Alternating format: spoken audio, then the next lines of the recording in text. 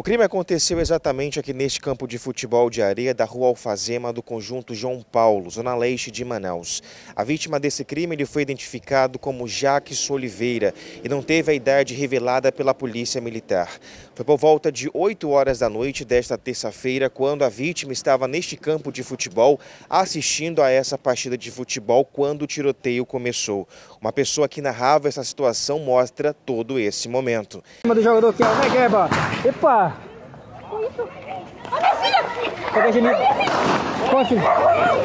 Felizmente essa pessoa. Jamil, corre! Vem, Jamil! Felizmente aí, acidente aqui no campo. Tiroteio, galera.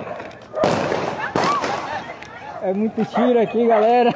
De acordo com as informações da polícia, Jackson foi baleado dez vezes pelo corpo e ainda chegou a ser encaminhado para o hospital e pronto-socorro Platão Araújo. Chegando nessa unidade hospitalar, ele não resistiu. O portão agora desse local está fechado. O que chama a atenção é que essa rua aqui, Alfazema, do conjunto João Paulo do bairro Jorge Teixeira, é bastante movimentada.